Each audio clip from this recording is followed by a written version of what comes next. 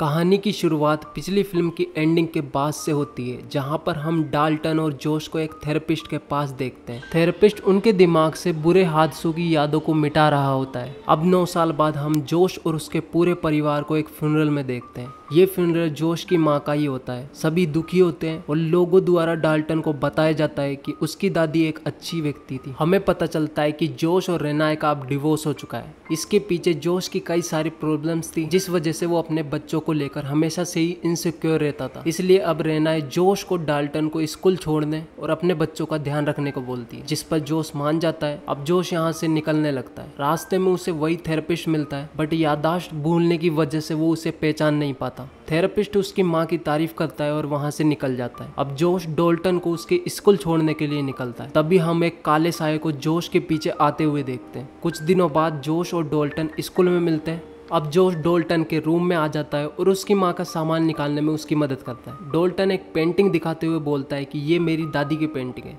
जिसे उसने बनाया है। बट उसे ये भी अफसोस होता है कि अभी तक उसने अपने फादर की पेंटिंग नहीं बनाई अब यहाँ पर डोल्टर की रूम पार्टनर किम आती है। डोल्टन बोलता है कि उसे लड़की के साथ रूम शेयर करने में प्रॉब्लम है, जिस पर किम बोलती है कि वो इसके बारे में फैकल्टी से बात करेगी। अब जोश को कई दिनों से कुछ अजीब लग रहा था। डोल्टन उसे वहाँ से जाने को बोल देता है, जिस पर जोश दुखी होकर वहाँ से चला जाता है, क्योंकि कभी भी अपने बच्चों को समझ ही नहीं पाया जिसके बाद किम डोल्टन से बोलती है कि उसे एक दो दिन में दूसरा रूम मिल जाएगा, जिस पर डोल्टन बोलता है कि वो यहाँ पर पेंटिंग सीखने आया है और वो ज़्यादा किसी से बोलता नहीं है। अब किम लाइट ऑफ़ कर देती है, जिस पर डोल्टन डर जाता है और बताता है कि बचपन में उसके साथ कुछ बुरा हुआ था और अब उसे इसलिए अंधेरे से डर लगता है। अगले दिन डोल्टन अपने स्कूल जाता है। टीचर सभी स्टूडेंट को बोलती है कि तुम्हें पेंटिंग अपने मन से करनी चाहिए। और फिर वो सभी को मन से सोचकर एक पेंटिंग बनाने को बोलती है, जिस पर डोल्टन भी सोचता है और एक डोर को पेंट करता है अपनी पेंटिंग में। तभी उस पेंटिंग वाले डोर में से एक डरावना हाथ बाहर निकलकर डोल्टन को घायल कर देता है। ये चीज़ उधर जोश भी महसूस कर रहा था। अब डोल्टन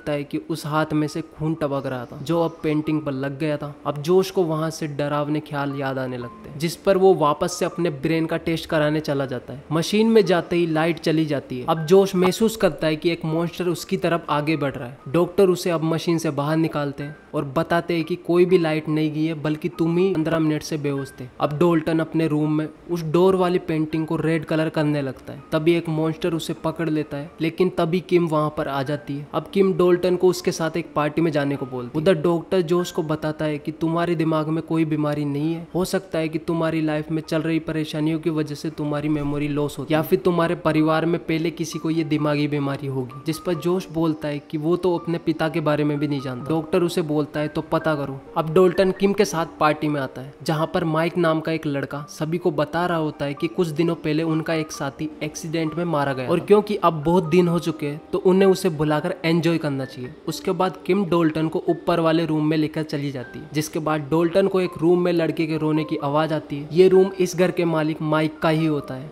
डोल्टन उसके अंदर जाता है, जहाँ उसे एक लड़का मिलता है, जो उससे हेल्प मांग रहा होता है। वो बोल रहा होता है कि डोर को जल्दी से बंद कर दो, वरना वो आ जाएगा। अब एक मॉन्स्टर वहाँ पर आने लगता है। डोल्टन डर के मारे बेड के नीचे चला जाता है। तभी वो लड़का डोल्टन पे उल्टी कर देता है। अब डोल्टन चिल्लाता है और किम वहाँ पर आ जाती है। जो उसे कुछ नहीं हुआ बोलती है, उसके बाद माइक भी वहाँ पर आ जाता है और उन्हें वहाँ से निकलने के लिए बोलता है, जिस पर किम माइक को नीचे मारकर डाल्टन के साथ बाहर निकलने लगती है। रात को डाल्टन अपनी उस डोर वाली पेंटिंग को पूरा लाल रंग करने लगता है और पेंट करते करते सो जाता है। जब वो उठता है तो वो अपने आप को एस्ट्रल फॉर्म में पाता है, यानी कि वो अब अपने शरीर को देख रहा था, जिससे वो अलग हो गया था, यानी कि डोल्टन की आत्मा। अब डोल्टन एक टॉर्च लेता है और किम के रूम में जाता है। वहाँ जाकर वो उसके इंस्ट्रूमेंट को बचाने लगता है। रियल वर्ल्ड में किम भी उसे महसूस करती है और जाग जाती है, जिस पर डाल्टन वहाँ से भाग जाता है।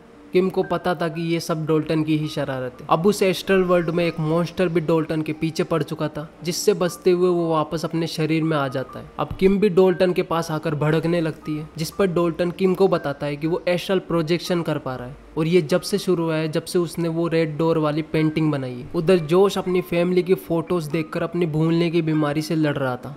तभी उसे वही काली परछाई जो हमने स्टार्टिंग में देखी थी दिखाई देने लगती है। जोश उसे ब्रह्म मानकर जैसे ही अपने काम पर जाता है, वो परछाई उस पर अटैक कर देती है। जोश भी उसे मारने के लिए आगे बढ़ता है, मगर वो परछाई उसे उठा के फेंक देती है, जिससे वो बेहोश हो जाता है और जब वो जागता है तो वो भी एस्ट्रल प्रोजेक्शन कर पा रहा था जहाँ उसे एक बॉक्स मिलता है जिसे छूते ही वो वापस अपनी दुनिया में आ जाता है। अब हम डोल्टन को उसकी क्लास में देखते हैं जहाँ पर टीचर सभी को एक मॉन्स्टर की पेंटिंग दिखाती है और बताती है कि इस पेंटिंग को बनाने वाला अपनी फैमिली परेशानियों के चलते ऐसा महसूस किया कि वो अपने ही बेटे को खा रहा है और इसी को उसने पेंट किया है। उसके बाद सभी पेंटिंग करने लगते हैं।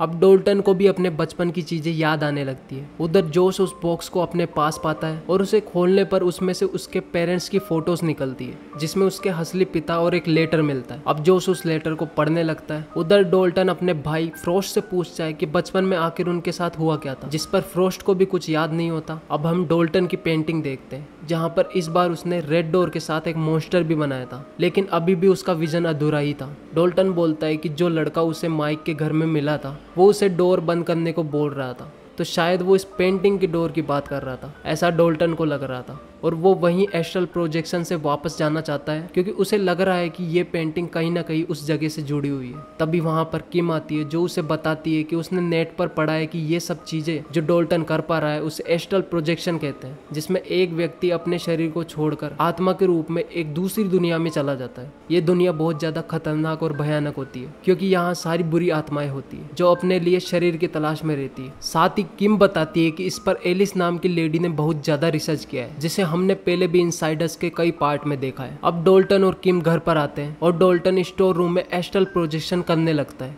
किम देखती है कि डोर अपने आप ही खुल जाता है, यानी कि डोल्टन अब अपने शरीर को छोड़ चुका था। उस दुनिया में जा चुका था, वो माइक के वॉशरूम में जाने लगता है, मगर वहाँ उसे वो लड़का नहीं मिलता। अब डोल्टन वापस आ ही रहा होता है कि तभी वो मॉन्स्टर उसे पकड़ लेता है। उधर किम को भी मॉन्स्टर पकड़ लेता है, जो कि डोर पर खड़ी थी। अब वो बेहोश हो जाती है।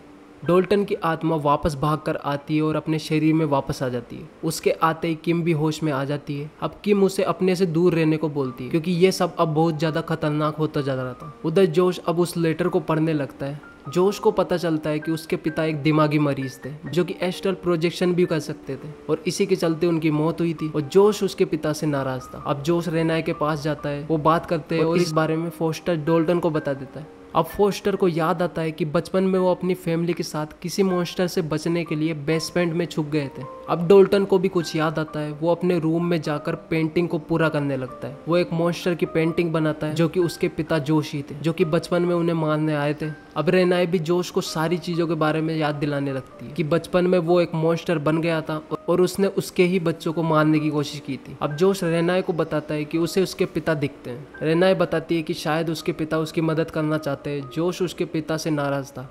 क्योंकि उन्होंने उसे छोड़ दिया था और ऐसा ही कुछ जोश भी अपनी फैमिली के साथ कर रहा था। ऐसा रेनाए बताती है। दूसरी तरफ़ डोल्टन स्कूल में जाकर वही एस्ट्रल प्रोजेक्शन करने लगता है। जोश एस्ट्रल प्रोजेक्शन के बारे में जानकर दुखी होता है और फिर वो रेनाए पर भड़क जाता है और बोलता है कि उसने उसे पहले क्यों नहीं बताया इन सब चीज़ों के बारे में? जिस पर रेनाए भी उस पर भड़कती हुई बोलती है कि जोश ने इन सब चीज़ों के चलते एक मोस्टर बन के उनको मारने की कोशिश की और यही वजह थी कि आज तक जोश के बच्चे उससे डरते हैं और इसी कारण उनका डिवोर्स भी हुआ था। तभी फोस्टर वहाँ आकर, तभी फोस्टर वहाँ आकर जोश और रेनाय को बताता है कि डोल्टन ने जो पेंटिंग बनाई है, उसमें मॉन्स्टर जोश ही है। ये सुनकर सब डर जाते हैं और अब जोश को अपनी एक पेंटिंग में अपने पिता का हथौड़ा दिखाई देता है। उसे पकड़कर वो स्टोर रूम में चला जाता है, जहाँ वो देखता है कि उसकी माँ अपने बच्चों के साथ जोश से बच रही होती है, जिसमें डोल्टन छोटा था, जब वो अपने पिता को एस्ट्रल वर्ल्ड में ही रोक सकता था। ये रेनाय बताती और रेनाय उसे एस्ट्रल वर्ल्ड में जाने को बोलती है और वहीं से जोश मॉन्स्टर बन के आया था। और अब वो रेनाय को दूर फेंक देता है और वो डोल्टन को देखकर उसे मारने जाता है। और अब बड़ा डोल्टन वहाँ वहाँ पर आ जाता है और वो दोनों वहाँ पर लड़ते लड़ते बेडरूम में पहुँच जाते हैं, जिसके बाद डोल्टन को दूसरे मोस्टर भी नज़र आने लगते और वो उस जगह पर फंस चुका था। असली दुनिया में डोल्टन पर अब मोस्टर ने कंट्रोल कर लिया था। फिर वहाँ पर किम आती है